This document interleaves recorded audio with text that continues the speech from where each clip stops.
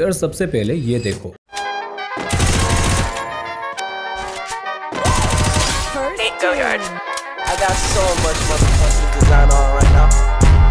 Break it down, bring it back, make it clap. I got three old thoughts, new guap. Heard that bitch, bitches on my line. Anyone that comes rap, hold up, what it not, 45, scope of times, like, whoa.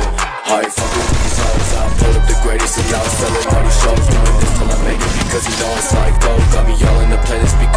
देख लिया तो फिर चलो सीखते हैं। देखो यार UMP हो या फिर कोई भी एस हो, उससे रेड नंबर मारना उतना भी मुश्किल नहीं है अगर तुम्हें सही टेक्निक पता है। तो आज मैं आपको सिखाऊँगा आपको ऐसे ऐसे एंड ऐसे कैसे हेडशॉट मारना है? तो सबसे पहला ट्रिक से स्टार्ट करते हैं, जो कि है जॉयस्टिक ट्रिक यहाँ पर देखो, मैं जितना भी गोली चला रहा हूँ, सारा गोली रेड नंबर लग रहा है। येलो नंबर कहीं दिख ही नहीं रहा। तो मैं इसे रेड नंबर मारने के लिए एक ट्रिक का यूज़ कर रहा हूँ, जिसका नाम है जॉयस्टिक ट्रिक एंड खास करके इसी टेक्निक का यूज़ करके बहुत सारे प्रो प्लेयर ओनली रेड मारते हैं। तो चलो, तुम भी सीख जाओ। देखो, इसको करना बहुत ही सिंपल है। आपको फायर करते हुए अपना जॉयस्टिक को मूव करना है। एंड यहाँ पर शुरू होता है असली खेल। आपको उसी डायरेक्शन में जॉयस्टिक को मूव करना है, जिस डायरेक्शन में एनिमी भाग रहा है। जैसे कि यहाँ पर देखो एनिमी जिस डायरेक्शन में मूव कर रहा था, मैंने अपना जॉयस्टिक को पकड़कर उसी डायरेक्शन में खींचा एंड मैंने अपना फायर बटन को भी एनिमी के पोजीशन वाइज ड्रैग किया। एंड यहाँ पर देखो, कितनी आसानी से रेड नंबर लग गया। इस ट्रिक में खास करके यही बात का आपको ध्यान रखना है एनिमी जिस साइड पर भाग रहा है, उसी साइड को आपको अपना जॉयस्टिक को मूव करना है। एंड सिंपल अगर एनिमी ज़्यादा मूव नहीं कर रहा है तो उस टाइम आप अपना जॉयस्टिक को पीछे ड्रैग कर सकते हो कुछ ऐसे। देन अपना फायर बटन को ड्रैग करने से रेड नंबर लगता है। एंड सोने पे सुहागा, अगर आप इस ट्रिक के साथ डीबी कैरेक्टर का यूज़ कर लेते हो। देखो डीबी का यूज़ करके जब भी आप एनालॉग या फिर जॉयस्टिक को मूव करोगे डीबी का स्किल एक्टिवेट हो जाएगा, जिससे ये आपका मूवमेंट को 30% एंड आपका गन का एक्यूरेसी को 60% बढ़ा देगा, जिससे इस ट्रिक से आपका रेड नंबर मिस भी नहीं होगा। देखो, अभी ये तो सिंपल वाला है। अभी ये मत मुझे बोलना है कि एस का एम बॉट भी तुम्हें सीखना है, कुछ ऐसे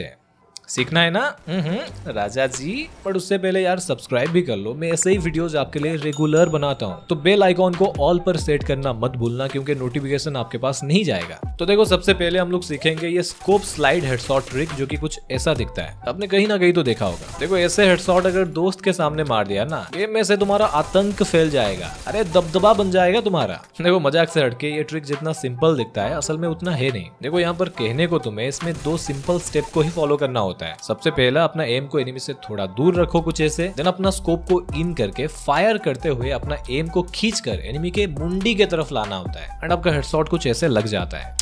बट आप जब भी ऐसे मारने जाते हो देन आपका एम बॉडी पर ही आकर चिपक जाता है। देखो, ऐसा इसलिए होता है क्योंकि जो ट्रिक है एक बहुत ही छोटा बग है। आपने एक छोटा सा गड़बड़ी किया और हेडशॉट मिस हो गया, समझो। तो इस ट्रिक में अपना एम को रखते हुए ये मेक श्योर कर लेना। आपका एम जो है एनिमी के सर के बिल्कुल स्ट्रेट में होना चाहिए, कुछ ऐसे। अगर तुमने थोड़ा सा इधर उधर ऊपर नीचे रख लिया तो जब भी तुम खींचोगे बॉडी शॉर्ट ही लगेगा। बट स्टेप वन अगर तुमने सही जगह पर अपना एम को रखा है देन स्टेप टू में स्कोप ऑन किया। तीन नंबर स्टेप में अपना लेफ़्ट फायर बटन को दबा के रखा। एंड देन जब भी आप अपना स्क्रीन को खींच कर एनिमी के हेड के तरफ़ लोगे तो तभी आपका परफेक्टली ऐसे रेड नंबर हेडशॉट लगेगा। बट एक इंपॉर्टेंट बात जान लो, ये जो ट्रिक है, तब भी काम करता है जब भी एनिमी स्टेबल होता है, यानी एक जगह पर खड़ा होता है। अगर एनिमी ज़्यादा उछल कूद कर रहा है देन इस ट्रिक से हेडशॉट लगेगा ही नहीं। आप मार ही नहीं पाओगे। देखो, अगर कोई ऐसा मार रहा है तो साफ़ बात है, वो हैक यूज़ कर रहा है। बट देखो, ये वाला एम बॉट अगर तुम सीख जाते हो तो इससे तुम मूव करते हुए एनिमी को भी मार सकते हो। एंड यकीन मानो, ये सबसे ज़्यादा सिंपल है। बट इसके लिए तुम्हें पहले एक चीज़ करना पड़ेगा। अगर तुम अपना स्कोप बटन को राइट साइड पर रखते हो तो उसको लेफ़्ट में लाना पड़ेगा। क्यों लाना पड़ेगा? आगे तुम्हें पता लग जाएगा। देखो, इस ट्रिक को करने के लिए आपको नॉर्मल जैसे आप ड्रैग हेडशॉट मारने के लिए फायर बटन को ड्रैग करते हो, वैसे ही करना है। अभी देखो स्टेप वन फायर बटन को ड्रैग करो।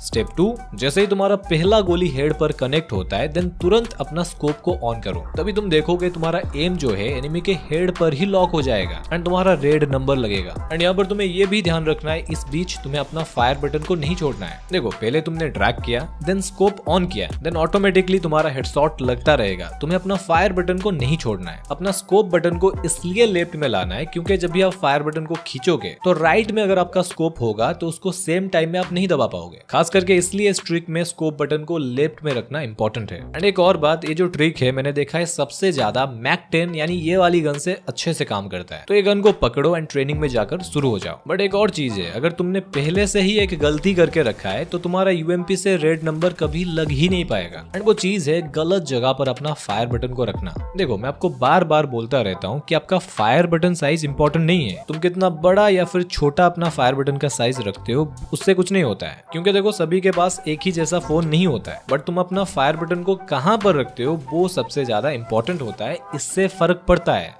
तो तुम्हें ऑलवेज अपना फायर बटन को जितना हो सके नीचे रखना है, जिससे तुम्हें ड्रैग करने के लिए एक लंबा स्पेस मिले। सिर्फ़ इतना करके देखो, तुम्हारा हेडशॉट में ज़मीन आसमान का फ़र्क नज़र आएगा। एंड लास्ट में आते हैं कुछ कैरेक्टर्स जिनका यूज़ करने से आपका हेडशॉट लगने के लिए बहुत मदद करते हैं। जिसमें सबसे मेन कैरेक्टर आता है लूना ये आपका गन का रेट ऑफ़ फायर को हमेशा के लिए 8% बढ़ा देती है, जिससे देखो रेड नंबर हेडशॉट लगना और भी ज़्यादा इजी हो जाता है। एंड हमारा सेकंड कैरेक्टर है डीबी इसके बारे में मैं आपको बता चुका हूँ। ये कैरेक्टर आपका मूवमेंट एंड आपका एक्यूरेसी को बढ़ाकर ये मेक श्योर करता है कि आपका गोली बिना रिकॉयल होकर ओनली हेड पर ही लगे। एंड उसके बाद भी हमारे फ़ोन में एक ऐसा सीक्रेट सेटिंग होता है, जिसका नाम सभी को पता है डीपीआई पर अपने फ़ोन के हिसाब से डीपीआई को कितना बढ़ाना है, जिससे हेडशॉट ज़्यादा लग पाए, ये चीज़ मैक्सिमम बंदों को पता ही नहीं है एंड वो लोग गलती करते रहते हैं। तो अगर आपको जानना है आपके फ़ोन के हिसाब से बेस्ट डीपीआई आपको कितना रखना है तो ये वाली वीडियो को क्लिक करके देख लो। मैंने ए टू जेड आपको एक्सप्लेन किया है। एंड मैं मिलता हूँ आपसे किसी और एक नए वीडियो में, तब तक के लिए जय जगन्नाथ।